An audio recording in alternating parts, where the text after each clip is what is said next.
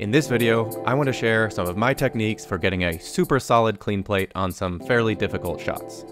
These are my go-to methods for quickly and accurately creating clean plates using only Adobe After Effects and Photoshop.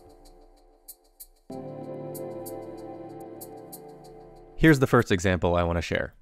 I have this idea where I'll record a 360 video and use it as a reflection map for a CG object. More on that in my next video, but for now, let's just work on removing this object from the footage. It's kind of complex because we have perspective, parallax, depth of field, some lighting changes, and these grid lines that need to match up perfectly. I tested out content aware fill inside of After Effects, and as you can see, the results are just not good enough. I also tried Runway ML's in-painting tool, and it struggles with this shot. By the way, there are definitely some scenarios where these tools work perfectly. It never hurts to start with the one-click solution, and if it doesn't work, then go from there. All right, let's get right into it. What we basically want to do is create one single clean frame and then motion track that into the entirety of the clip. So let's find a moment here in the middle that would be good to paint our clean frame. It's something like this where we see a good amount of the surface. I'm gonna hit Control or Command Alt S to save out a still frame now let's open that file up in Photoshop and create our clean frame. We're going to use Photoshop's generative fill. So I'm going to quickly create a mask around my object here. And then I'm going to hit generate fill, leave that blank, click generate. Some frames are a little bit odd, but sometimes it works pretty darn perfectly. I'm actually quite surprised at how generative fill was able to keep these lines parallel, and I think this frame is going to be good enough for our purposes. Here I'm doing just a little bit of extra cleanup manually with a clone stamp tool and also some color correction with layer masks. The AI gives you a nice starting point, but sometimes you have to go in and do a little bit of manual effort to get your desired result. Now back in After Effects, let's import that Photoshop file, import it as footage, hit OK, and we know the file name frame52 was our hero frame, and that's just good to know. Next thing we want to do is do some motion tracking with Mocha. So we could go over to our effects and type in Mocha, but I also like to use Video Copilot's FX console, which lets me hit Control or Command Space and just search for an effect. I'll search for Mocha, Mocha AE, and click the Mocha button. Mocha's going to launch, and here's our interface. What we want to do is select some areas that we want to track. So I will grab the X spline tool and select this area and then right click to deselect. I then want to give Mocha a little bit more information of this plane that I want to track. So I'll click and hold here and hit the X plus, and this is going to tell Mocha to also track these areas as part of the same planar surface. Now that those are selected, we want to choose our track motion options. Let's include perspective and then track forward. Track looks really good. Let's go back to here and track backwards. All right, Mocha did a really good job, so no problem there. Now with Mocha, we have this planar surface button, and by default, it's just kind of in place here. You can see it's sticking to the surface, uh, but we don't want it there.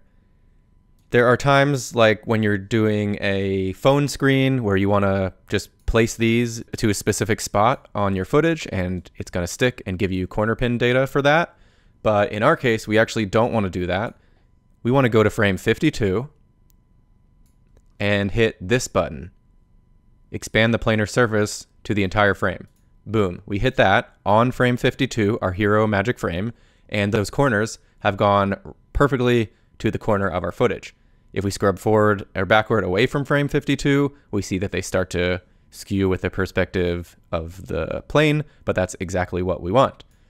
Now that we've done that, we can hit save and exit out of Mocha. So we've done our tracking, now we want to do something with it. Let's go to Mocha, drop down tracking data, create track data, select that layer that we just saw in Mocha, and now we have some data. What do we want to do with it? Well, we want to use a corner pin export option and export it to our Photoshop file hit apply export. Now you see we've got keyframes on a corner pin, on this cleaned up Photoshop frame and it's moving with the motion as we'd expect. Then what I would do is just uh, go to frame 52, the, the lineup frame, and draw a mask on the cleaned up plane while it's turned off so I can see. And I'm just drawing a mask around the object that we want to remove. Now that that's done, we basically have this. Just a patched out area moving perfectly with that plane, thanks to Mocha. Let's turn both on and check it out. And we are looking pretty darn good. Now we just got to adjust that area of the mask to cover up the sides that are poking out. Um, one thing that's a little weird is the mask gets applied before the corner pin. So on frame 52, it's going to be lined up, but then on these other frames, you have to kind of just work with it this way, but it's not too bad. And then I would also just uh, hit G twice to get the mask feather tool and just drag out just to get a little bit of a feathered edge there. Now you might notice as the lighting changes in a little bit in the background, there's a little bit of a dark patch and it's not matching as nicely. Let's add a levels effect.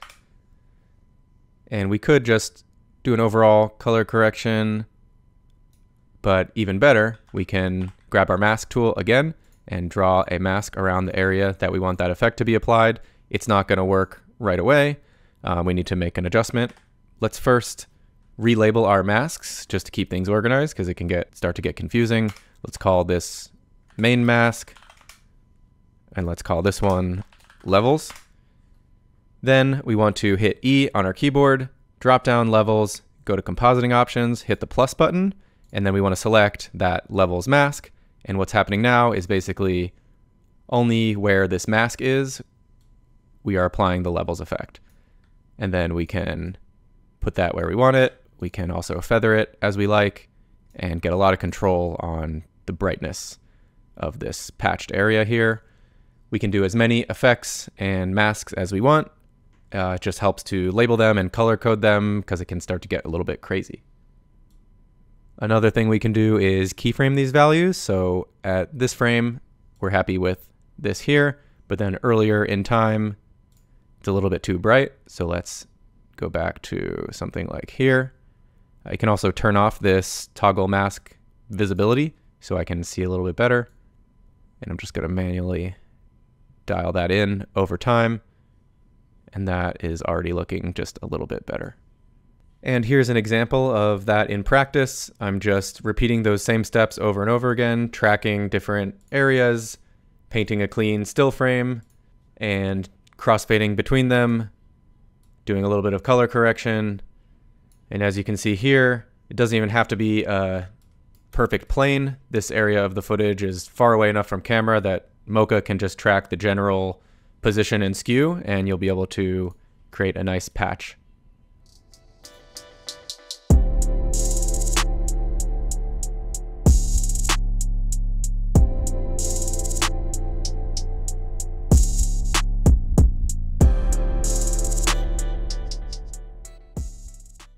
Thank you to FlexiSpot for sending me their C7 Premium Ergonomic Office Chair. I sit at my desk for hours at a time, so I know how important it is to have a good supportive chair. The chair comes shipped in pieces and requires a little bit of assembly. It took me about 30 minutes to put it all together. I'd say it's moderately easy to do. It has a ton of adjustability options that you'd want from an office chair. Something I noticed right away is the lumbar support. It can be locked in place, but I prefer to leave it unlocked so it adapts to my posture throughout the day. You can really feel the lumbar support compared to other chairs, so if you're someone who likes putting a pillow back there for support, then you'll really appreciate this feature. You can adjust the seat depth and the tilt and get a really nice recline. And then there's the headrest. It's really nice that it's included in the price of the chair. You don't have to buy it separate. It's not very obtrusive, so you don't notice it unless you need it. The armrests are adjustable, and that's good for me because I like to keep it at the lowest setting so it can slide right under my desk. Overall, it's a really good chair for the price. Great for someone with back issues who needs to upgrade to a more supportive chair. You can use the code C730 at the exclusive link below to get $30 off your purchase, plus a 10 year warranty and 30 days free returns. Check it out. Let's move on to our next example. In this piece of footage, we have one, two, three separate planes that we need to consider when removing this object. We could do the previous method and track each plane individually, but I have a little bit of a better method where we can use After Effects' 3D camera tracker in combination with a free script to make this nice and easy. The 3D track is done. We can leave everything at default settings and we're ready to go. What we want to do is first make a ground plane for the floor.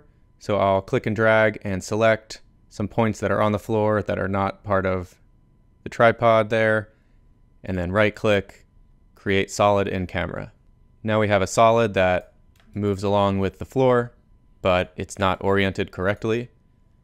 You can move it around, just be careful not to click and drag it like that. We want to just use the X and the Y so it's moving along the same plane. We can also rotate it like so. We can also hit Y for the pan behind tool, and then when it says XYZ, grab it to move the anchor point, hold control, and snap it to a corner. That makes it a little bit easier to place it where we want it, and then rotate it along that axis, and scale it up. So we get something like this. Another thing that's nice to do is add a grid effect and that's how we can check to see if our track is looking nice and this is looking good. And I like to just give it a little bit of extra space, something like that, with some overlap there. And we have a ground plane that matches with our footage. Now here's the amazing thing. With this free script that came out last year, we can stamp our footage onto that 3D plane. It's basically a camera projection. This is something that I used to have to go into Cinema 4D to do it, and I always wanted a way to do it in After Effects. So huge thank you to the people who made this, and I'll put a link down below where you can go ahead and download this free script. So we go to a frame that's going to be good for the clean plate, and before we hit the button, it's actually important that the anchor point goes back to the center. So I'm going to do controller command alt home and send that anchor point to the dead center and then press plane stamp. And what we get is a 3D layer that has a projection of that frame, but now it's moving with the footage because it's a 3D layer in 3D space. We can right click on the layer and reveal in Explorer and see that it saves out this PNG right in the same folder that your After Effects file was saved in. And then the easiest way to just go ahead and do it is open that frame in Photoshop and do a generative fill to clean out that area. We can then merge these layers into one, just hit Command S save that PNG, go back to After Effects, and it's gonna auto update. And then there we have our clean patch for the floor plane. That was the super quick way, but technically it's more correct to do a clean frame before the projection. So I just exported this frame, cleaned it up in Photoshop, and what you can do is, as long as this layer is visible, we can do the projection based off a clean frame, and we get a similar result. Okay, so I did the same thing as before and created some solids, oriented them to the walls here, and we're ready to do some projection. Now in this case, we don't actually have to do any Photoshop generative fill because due to the parallax, we have the information to fill in the clean areas. We just have to do a couple of different stamp projections and that will cover the areas where it's not clean. So I'm gonna go ahead and do that now.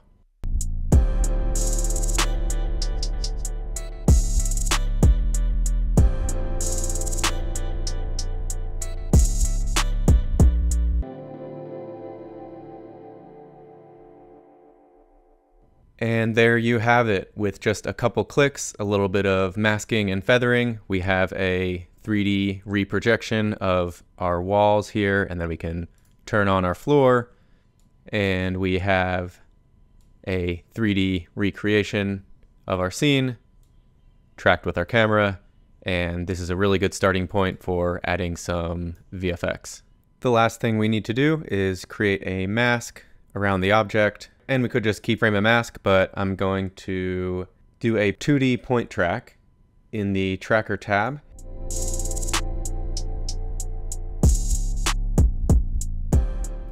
And what we have is a null object that just generally sticks to that area. Then let's create a new solid with Command Y, make the size just a little bit bigger than our comp, turn it off, but while it's still selected, draw a mask around the object that we are removing, and then just give it a little bit of outward feather.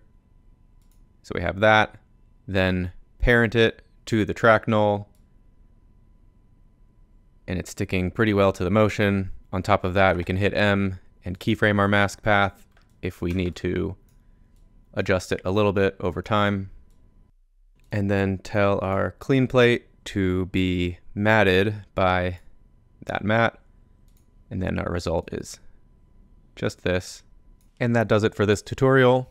I still see a few areas where some more adjustments could improve the shot, but we'll leave it at that for now. I hope you have all the info you need to track and clean out any object from any piece of footage. It's all about problem solving, using these different techniques in combination, and using AI to speed up your workflow, but not rely 100% on a magic button, and working in a way where you can be fast, flexible, and have a high quality result.